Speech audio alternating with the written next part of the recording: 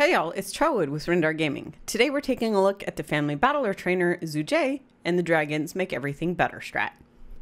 Don't forget to hit the sub button for more pet battle guides.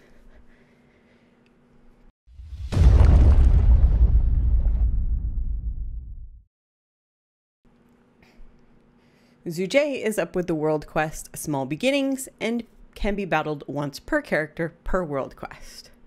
The family achievement, as well as the meta battler achievements, are account achievements, so the more characters you can utilize, the faster the meta will be. For the dragon family battle with the Zujai, you will need Chrominius, a drop from Chromaggus in Blackwing Lair, the Emerald Protowhelp, a wildcat pet from the Sholazar Basin, and any other dragon.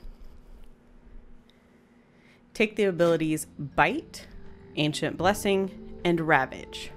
Yes, Chrominius has other abilities than Howl and Surge. For the Emerald Protowhelp, take the Emerald Bite, Emerald Presence, and Emerald Dream. All be welcome here. Scale's first move will always be a blind, so we're going to go ahead and use Ancient Blessing and get the extra health from it. Then we're going to use Bite.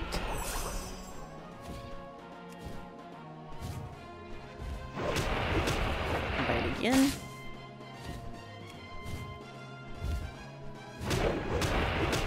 When gets about half health, use Ravage. This will heal for a little bit if it kills him.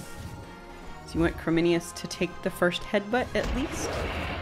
We're going to get a bite off on him. Do a little bit of damage.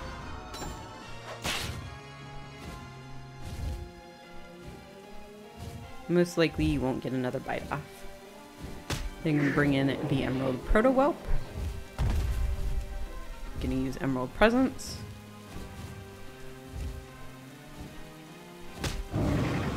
And we're gonna start in with the Emerald Bite.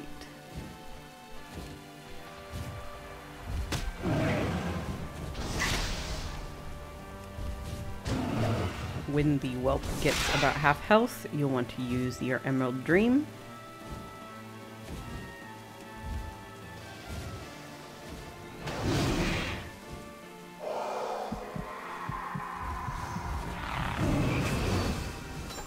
Comes out of that, make sure your presence is back up. And continued with Emerald Bite.